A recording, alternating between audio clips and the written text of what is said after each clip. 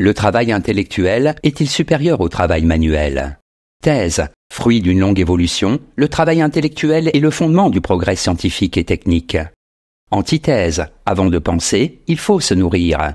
C'est le travail manuel qui produit ce qui est absolument nécessaire à l'homme. Thèse. Le travail intellectuel est supérieur au travail manuel. En effet, c'est l'extraordinaire développement de ses aptitudes intellectuelles qui distingue l'homme de l'animal. D'abord habile de ses mains, il a accompli d'immenses progrès en n'utilisant plus que son cerveau. Premier argument. L'homme a tout d'abord pensé avec ses mains. L'habileté manuelle de l'homme est sans doute issue de l'expérience, mais elle n'est pas dissociable d'un travail de réflexion. Les grands singes font, eux aussi, preuve de dextérité en maniant certains outils naturels.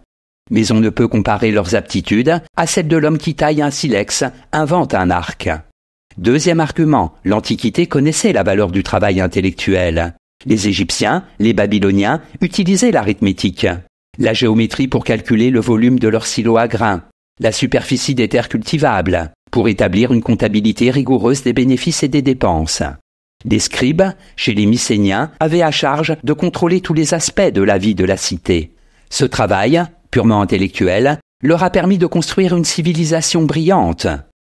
Troisième argument, le travail intellectuel fait progresser les sciences et les techniques. L'ouvrier accomplit sa tâche, l'ingénieur lui fournit de nouveaux outils plus performants. Le paysan constate avec désarroi que ses cultures sont envahies par des parasites. L'agronome invente des produits supprimant le fléau. Deux exemples, parmi bien d'autres, qui montrent la supériorité du travail intellectuel. En bref, l'évolution de la civilisation est la preuve la plus évidente que le travail intellectuel l'emporte sur le travail manuel. Ce dernier, du reste, tend de plus en plus à disparaître. Antithèse. Le travail intellectuel n'est pas supérieur au travail manuel. En effet, la distinction entre travail manuel et travail intellectuel est fallacieuse. Que l'homme construise un meuble ou qu'il résolve des équations, il fait de toute façon appel à ses aptitudes intellectuelles. Premier argument, la dévalorisation du travail manuel est relativement récente. Les Grecs considéraient que l'homme sage est un homme qui maîtrise plusieurs techniques. Jusqu'à la naissance de l'industrialisation, le bon ouvrier, l'artisan, avait droit à la considération. La noblesse, si elle méprisait le travail en général, ne faisait pas de distinction entre celui qui enseigne pour gagner sa vie et celui qui cultive la terre. Deuxième argument, le travail manuel noble est intellectuel. La dépréciation du travail manuel n'est pas seulement idéologique. Elle se rapporte à un état de fait, le travail à la chaîne, lié au développement de l'industrialisation, transforme l'homme en une sorte d'automate. Mais l'ouvrier spécialisé, c'est-à-dire celui qui n'exécute qu'une seule et même tâche, sans jamais avoir à réfléchir, n'est pas l'artisan dont le savoir-faire et l'intelligence s'appliquent à toutes les étapes de la fabrication d'un objet. Troisième argument. Le travail manuel est nourricier. Bergson, tout comme Alain, rappelle cette évidence. Sans le travail du paysan, du pêcheur, le travail intellectuel perd toute valeur.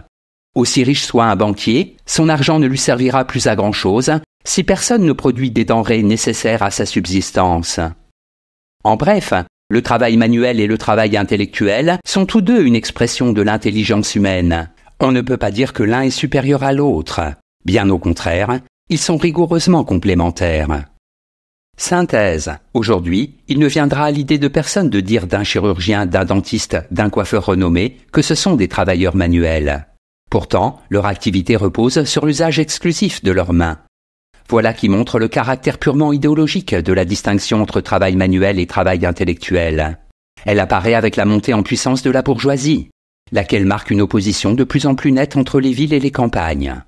La classe des banquiers, des commerçants, aura tendance à mépriser le travail manuel, afin de valoriser ses propres activités, lesquelles ne produisent rien.